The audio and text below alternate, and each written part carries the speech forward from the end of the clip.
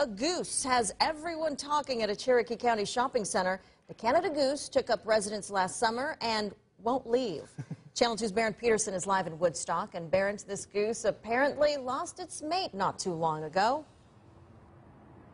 Now, the merchants of the shops of Molly Lane don't like loitering, but this one time they're willing to make an exception. They got a soft spot for this silly goose.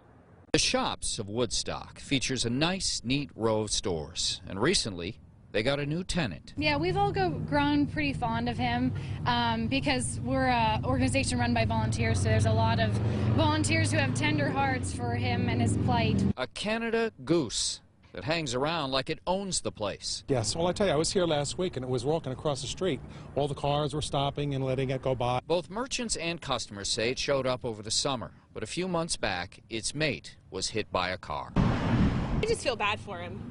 I mean, he does he doesn't leave a mess in front of my store, but uh, I just feel bad for him. I mean, he doesn't he just doesn't need to live on the concrete. Yeah. He needs a gaggle. It's true that Canada geese mate for life, and while most around here believe the bird is depressed because it no longer has a partner, an officer with the Georgia Department of Natural Resources says if the goose has food and cover, life is good.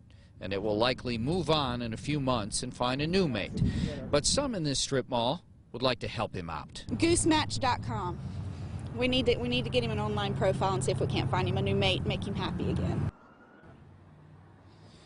The Canada goose is a protected species. It's against federal law to harm one. The DNR says don't feed it, leave it alone, and hopefully he will avoid all the traffic around here and hook up with a gaggle of geese sometime early this summer. We're live Cherokee County. Berndt Petersen, Channel 2 Action News.